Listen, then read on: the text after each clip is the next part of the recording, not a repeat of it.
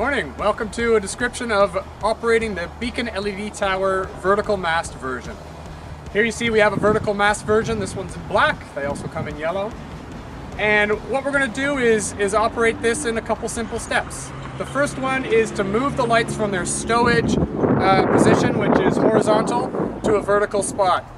So there's a little um, screw uh, lock here. Turn that counterclockwise to unlock it, and then the lights very easily move to a vertical position. Then use that in a clockwise manner to lock that in place.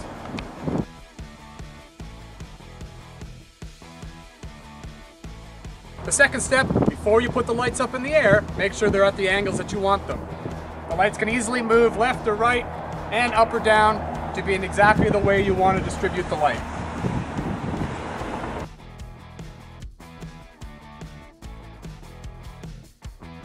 Once you have the lights set up in the way that you want them, the next step is to bring the outriggers and the jacks out to create a stabilizing uh, position for the beacon LED tower.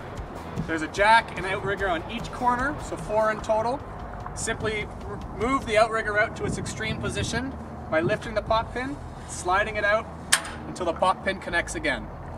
And then turn the jack clockwise to completely deploy it, lift all the wheels off the ground, and then adjust the jacks to make sure that the light tower is sitting level and then you're ready for the next step.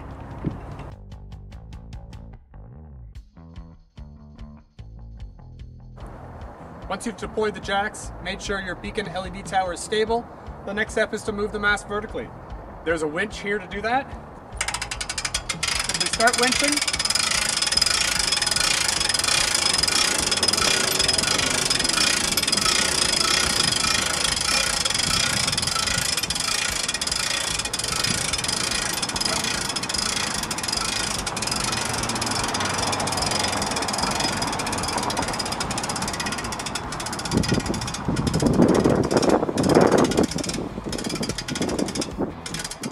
Keep cranking it vertically until you see the stop sticker.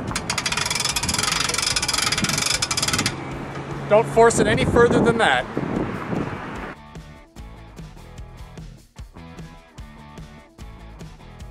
And now you're all set up and ready to go. Next step is simply to turn it on. On the end of the unit, there is a weatherproof uh, cover. Underneath that are outlets and the switch to turn it on. Hook it up to whatever power source you want. If you're remotely, um, operating, you can open up the cabinet and put a small generator in there. If you're operating in an area where you have external power, simply bring out the plug and plug it into your power source. And when you're all ready to be done, simply reverse the steps we've talked about and you're ready to go.